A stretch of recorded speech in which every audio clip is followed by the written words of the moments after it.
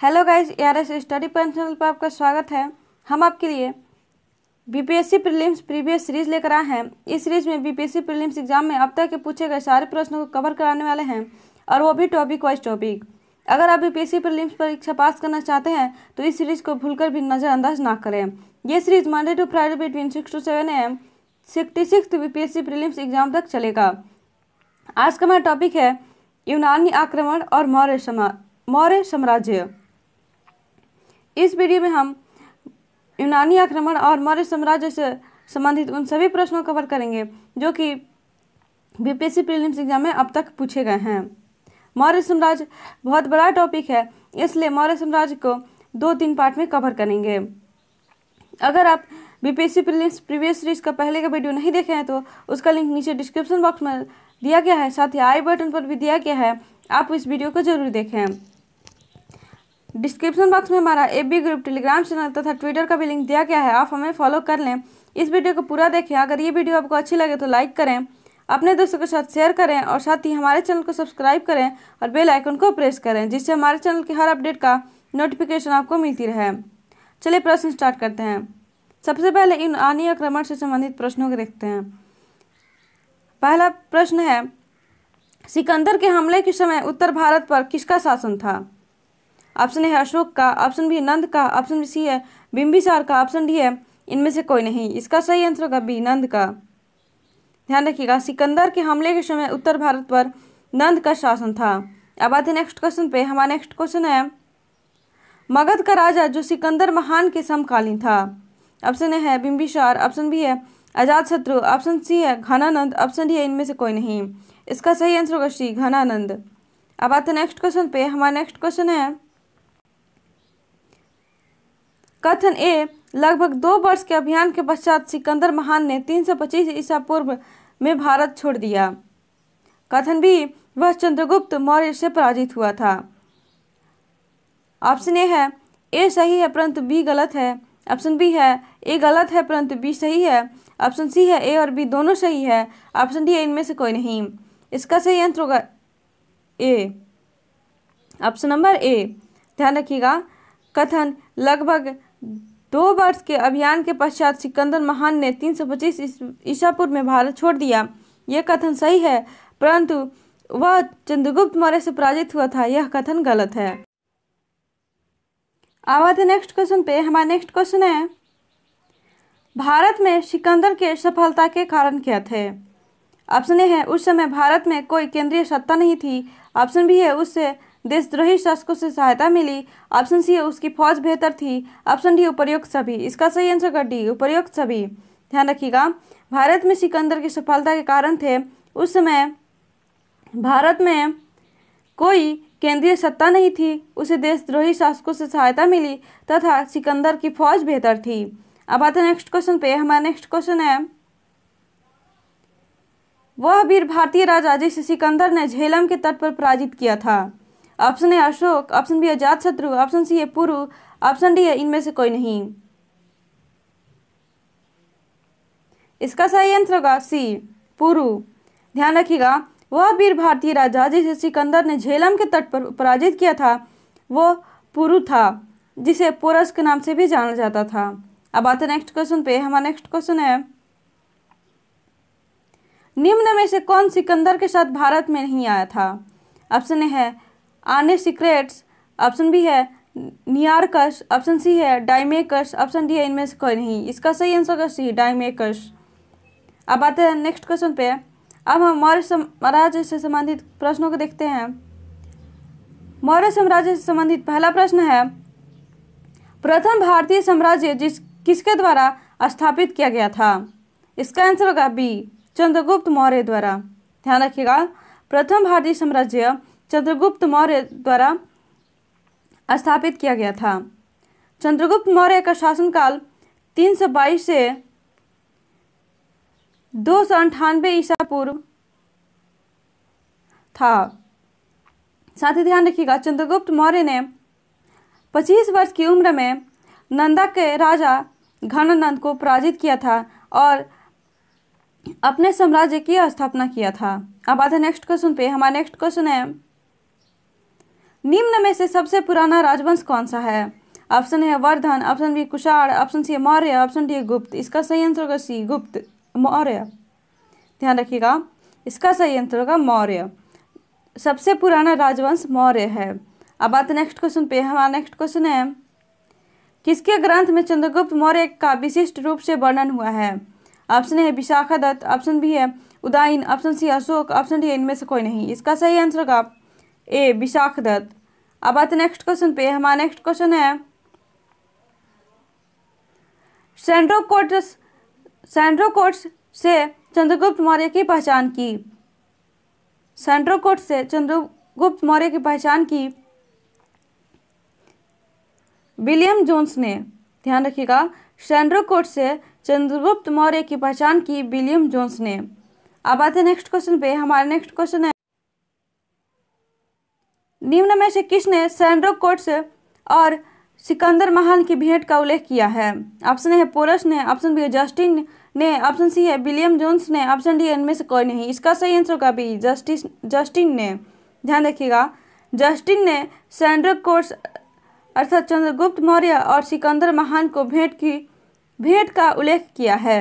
अब आते next question पे। हमारा नेक्स्ट क्वेश्चन है, कौटिल्य किसके प्रधानमंत्री थे? ऑप्शन है सम्राट अशोक के। ऑप्शन बी है चंद्रगुप्त। मौर्य के। ऑप्शन सी है चंद्रगुप्त। द्वितीय के। ऑप्शन डी है इनमें से कोई नहीं। इसका सही आंसर होगा बी चंद्रगुप्त मौर्य के।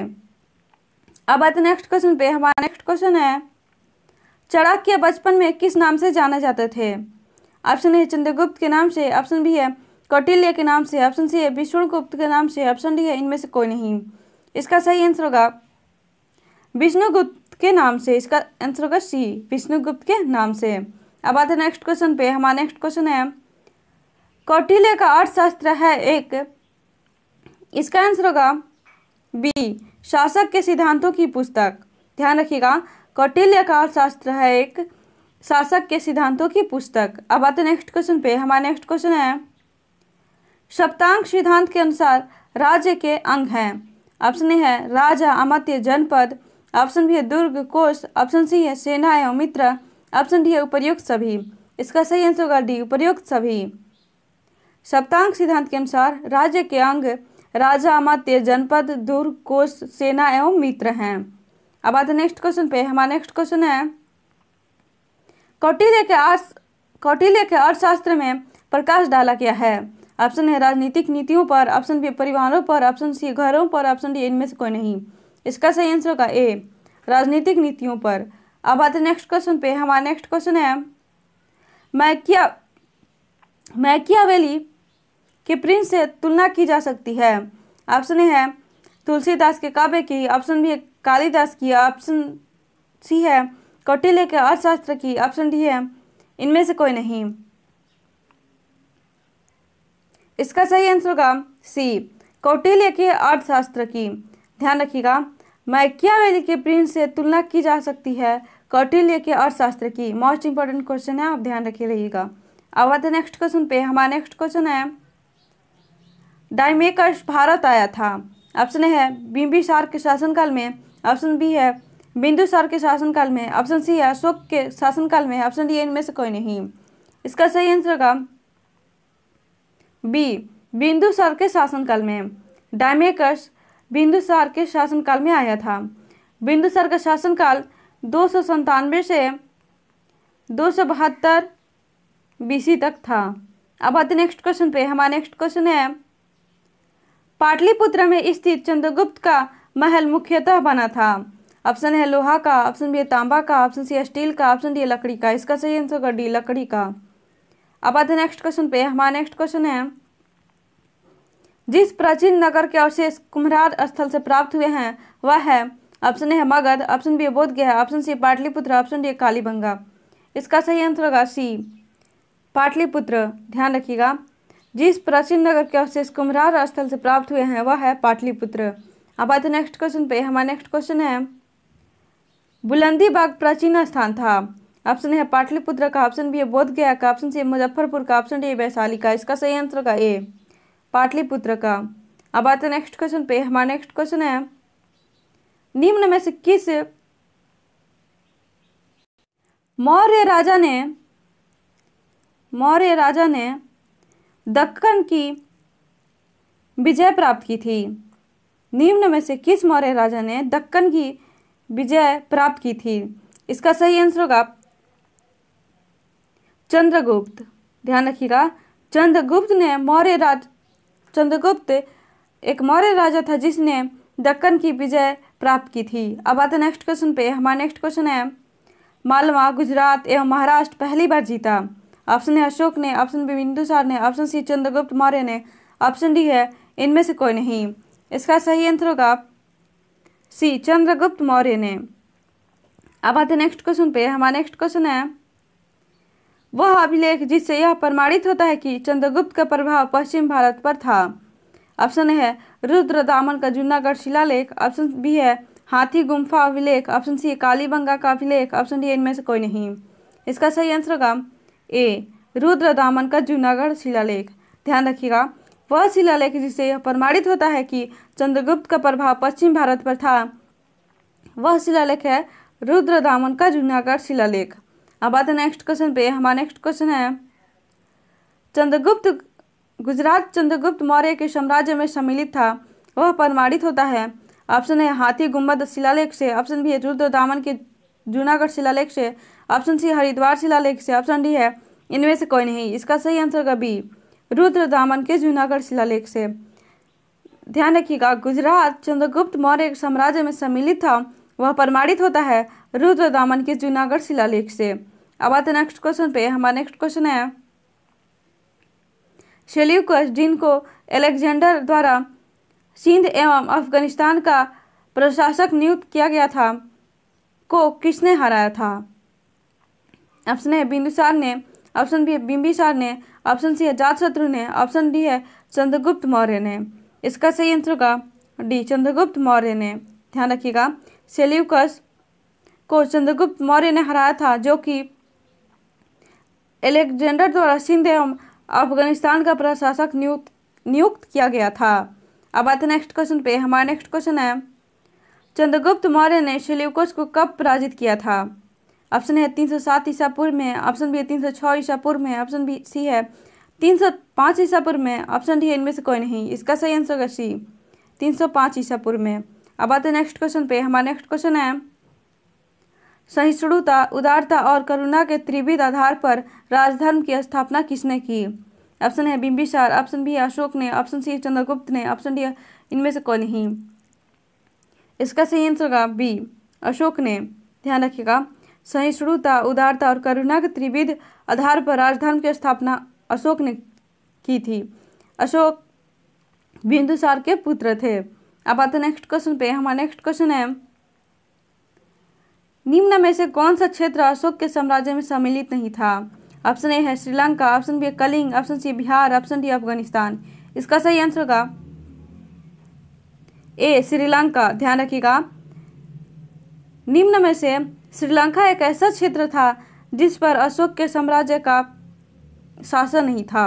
अब आते नेक्स्ट क्वेश्चन पे। हमारा नेक्स्ट क्वेश्चन है, अशोक के शिलालेखों में से किसमें दक्षिण भारतीय राज्यों का उल्लेख हुआ है? ऑप्शन है तृतीय मुख्य शिलालेख में, ऑप्शन बी द्वितीय मुख्य शिलालेख में, ऑप्शन सी नवा मुख्य शिलालेख में, ऑप्शन डी इनमें से कोई नहीं। इसका सही आंसर होगा बी, द्वितीय मुख्य शिलालेख में। ध्यान रखिएगा, अशोक के शिलालेखों में से तक, द्वितीय मुख्य शिलालेख में दक्षिण भारतीय राज्यों का उल्लेख हुआ है। अब आते नेक्स्ट क्वेश्चन पे, हमारा नेक्स्ट क्वेश्चन है, भारत के प्रथम अस्पताल एवं औषधि बाग का निर्माण किसने करवाया था? ऑप्शन है चंद्रगुप्त ने ऑप्शन बी अशोक ने ऑप्शन सी बिंदुसार ने ऑप्शन डी इनमें से कोई नहीं। इसका सही आंसर होगा बी अशोक ने। ध्यान रखिएगा, भारत के प्रथम अस्पताल एवं औषधि बाग का निर्माण अशोक ने करवाया था। अब आते नेक्स्ट क्वेश्चन पे। आज का हमारा लास्ट क्वेश्चन है। अशोक ने बौद्ध होते हुए भी हिंदू धर्म में आस्था नहीं छोड़ी, इसका प्रमाण है इसका सही आंसर होगा ए देवनाम प्रिय की उपाधि। अशोक ने बौद्ध होते हुए भी हिंदू धर्म में आस्था नहीं छोड़ी, इसका प्रमाण है देवनाम प्रिय की उपाधि। थैंक यू दोस्तों, अगर वीडियो अच्छी लगी तो लाइक करें, अपने दोस्तों के साथ शेयर करें, और साथ ही हमारे चैनल को सब्सक्राइब करें और बेल आइकन को प्रेस करें, जिससे हमारे चैनल के हर अपडेट का नोटिफिकेशन आपको मिलती रहेगी। अगर आप पहले का वीडियो नहीं देखे हैं तो उसका लिंक नीचे डिस्क्रिप्शन बॉक्स में तथा आई बटन पर भी दिया गया है, आप देख सकते हैं।